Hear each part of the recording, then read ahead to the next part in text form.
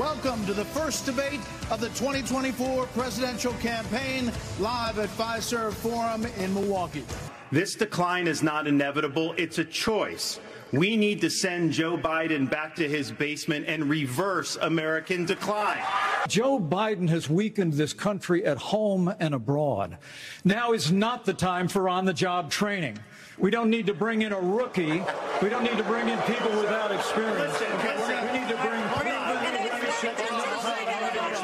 Let us be honest as Republicans. I'm the only person on the stage who isn't bought and paid for, so I can say this. The climate change Oh, whoa, agenda whoa, whoa, whoa. is a That's hoax. just ridiculous. The climate change agenda is a hoax. And we have to declare independence for it. I've had enough already tonight of a guy who sounds like ChatGPT standing up here. And the last person in one of these debates, Bret, who stood in the middle of the stage and said, What's a skinny guy with an odd last name doing up here was Barack Obama, and I'm afraid we're dealing with the same type of amateur standing on stage tonight.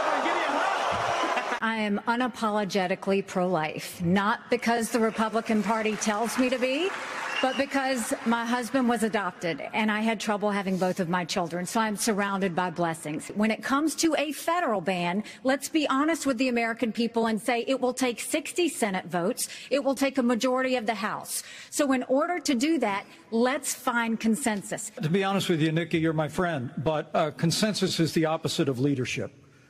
When the Supreme Court returned this question to the American people, they didn't just send it to the states only.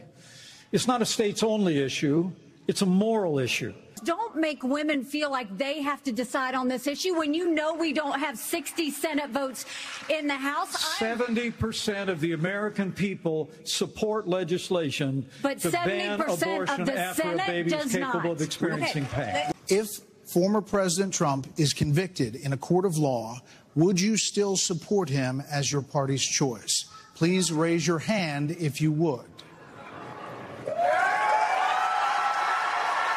Whether or not you believe that the criminal charges are right or wrong, the conduct is beneath the office of President of the United States. I chose the Constitution, and I always will. I had no Vice right to President Pence. overturn the election, and Kamala Harris will have no right to overturn the election when we beat them in 2024. Thank you, Vice President Pence.